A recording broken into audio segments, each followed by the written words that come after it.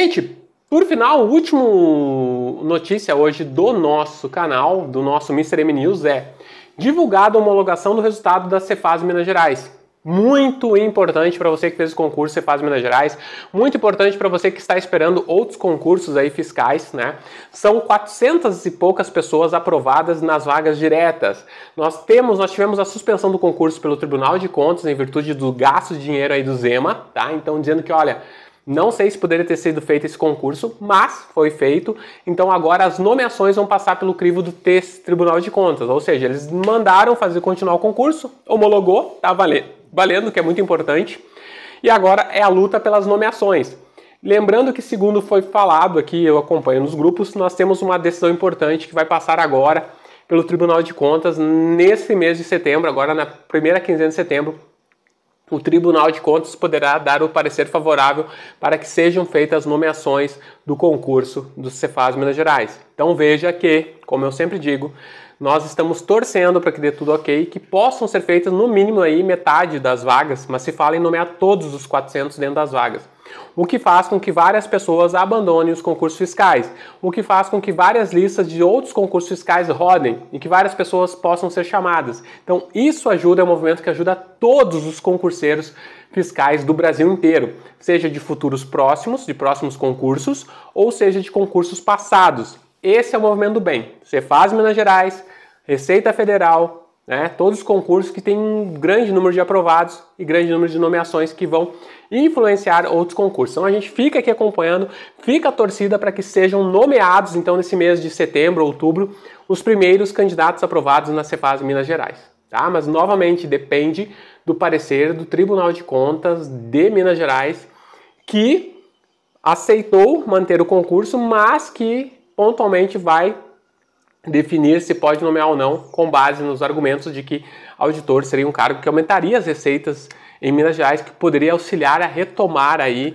uh, mais dinheiro para poder sair da situação fiscal de estar no limite prudencial, né? Que hoje poderia se contratar apenas segurança, educação, né? Se nomear esses cargos. Mas, novamente, o governador Zema tem batido que auditor fiscal seria uma possibilidade aí de arrecadar mais para conter aí uh, o déficit fiscal com mais arrecadação em contrapartida dos gastos, tá certo? Então, essa foi a nossa última notícia aqui do primeiro do último bloco do Mr. M News. E como sempre aqui eu quero trazer uh, a mensagem para vocês. Então a gente termina o jornal trazendo essa mensagem cristã para você, uma mensagem falando uh, da palavra de Deus. E hoje, né, eu trago um, um, um texto na verdade, que é muito importante. Na verdade, não é um texto da Bíblia, mas é um texto de Stephen Furtick, tá? O que, que ele fala aqui, tá na imagem para vocês, ó. Fé, o que, que é fé? Fé não significa necessariamente que Deus mudará a sua situação. Tá? Muitas vezes a gente está com problemas, a gente está com dificuldade, né? Você está estudando para concurso, está com seus problemas aí na vida pessoal, seja o que for, e mantém uma rotina de estudo, cansaço. Ah, às vezes você pensa que não vai dar certo, que não vai passar nesse momento e tudo, e, e você tem que se manter com fé. E nesse sentido, a fé é não necessariamente que Deus mudará a sua, sua, situação. Como é difícil a gente poder, às vezes, pensar isso. Nossa, talvez a minha situação que eu estou, essa dificuldade, demore mais algum tempo para passar. Mas não é essa minha ausência de fé, porque a fé significa não que Deus vai mudar a situação, mas que neste momento, algumas vezes, o que ela significa é que ela vai mudar você. Porque eu acho que a grande importância de você passar por momentos de dificuldade, momentos de restrição, momentos em que você às vezes duvida de você mesmo, mas que você não perde a fé e a esperança de que Deus está no controle da sua vida e de todo momento, é de que Ele muda você. Né? Então a gente consegue crescer nos momentos de frustração, nos momentos de dor, nos momentos que a gente atravessa qualquer dificuldade. Porque Deus acaba, através da nossa fé, se mantendo intacta, é, que Ele muda o nosso pensamento, a nossa visão sobre as coisas né? E nos faz mais fortes, mais resilientes, né? Quantas coisas que você pensou que não aguentaria que você aguentou no momento de dificuldade? Talvez hoje você não está mais no momento de dificuldade, você já passou. Mas o quanto que você cresceu, o quanto que você mudou e mudou para melhor quando você estava no momento de dificuldade. Então, essa mensagem de hoje sobre as circunstâncias da fé, muitas vezes, né, a nossa fé em Deus nos mantém a esperança e nós sabemos e conseguimos passar pelas dificuldades, conseguimos chegar a outro patamar. Mas como eu disse, muitas vezes a fé sendo trabalhada nos momentos de dificuldade nos levam a nos mudar, é, alterar no nosso interior para um interior muito melhor e mais conectados com Deus. Né? Eu acho que todo momento que a gente passa, todas as dificuldades, quando nos levam para mais perto de um relacionamento com Deus, é sempre muito importante. Nos fazem mais forte, mais resiliente, nos serve de experiência para quando a gente terminar todas as dificuldades, a gente nos lembrar de que a gente conseguiu vencer pela capacidade, pela força que Deus nos deu naquele momento de dificuldade. Então, encerramos o de News com essa mensagem. Fé não significa necessariamente que Deus mudará a situação, mas às vezes ele muda, né? Não, não é necessariamente isso, mas Deus muda muitas situações, mas algumas vezes, né, fé significa que ela mudará você.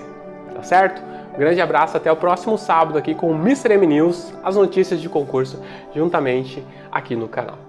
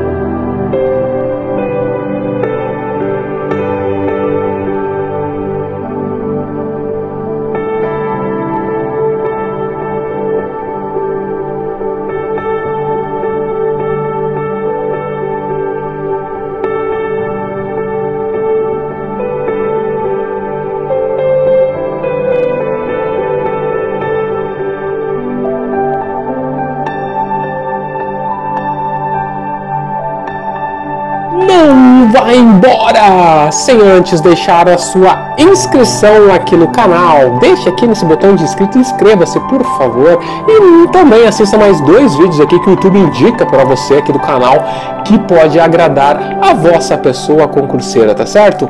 Um grande abraço e seja parte da família Extreme dos concursos não vá embora sem antes deixar a sua inscrição aqui no canal. Deixe aqui nesse botão de inscrito inscreva-se, por favor. E também assista mais dois vídeos aqui que o YouTube indica para você aqui do canal que pode agradar a vossa pessoa concurseira, tá certo?